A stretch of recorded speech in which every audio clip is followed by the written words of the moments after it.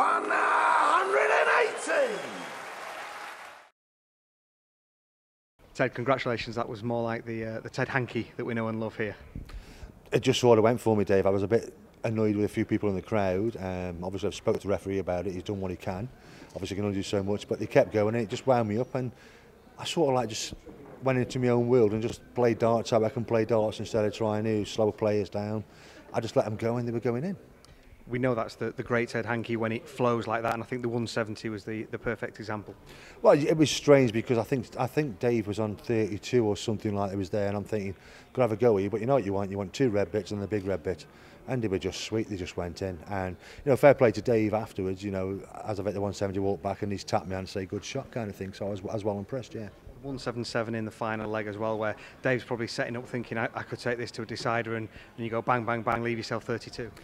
Funny thing, because 32 is my worst, worst double. And um, big, big credit to Mervyn King because this morning Merv's picked me up and he's got me on the board and we've had a good hour's practice, me and Merv. And we was playing finishing and Merv kept leaving double 16 and I kept hitting it in one dart. So when I was up there and I knew what the shot was, I've hit the 177, think myself, I've not missed it all morning. And as soon as I get up there, I'm four week, you know, four miles away from it. And then I think I was miles away from double eight, miles away from double four. Dave's not finished, and I've pinned the double two, and I was well happy, to be honest, well happy.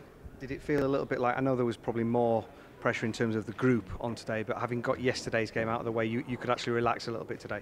Yeah, it's strange with me, Dave. I mean, if you look back at my history at, at the Grand Slam, um, I think I've only ever won once on the Saturday. I seem to have lost every single game on the Saturday and I've qualified sometimes other times I haven't. I don't know what it is with the Saturdays where I can't play as well as I can, but, you know, today I felt pretty decent. I got things right, I got my medication right and I really felt good and, you know, it's gone well for me today, so I'm well impressed with myself.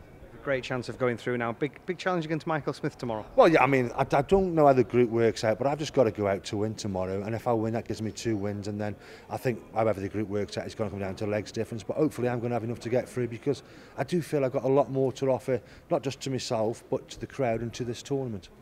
Just need to keep you in that little zone, don't we? Well, that's it, and you know, I've just got to get it right tomorrow, and hopefully things will go well for me.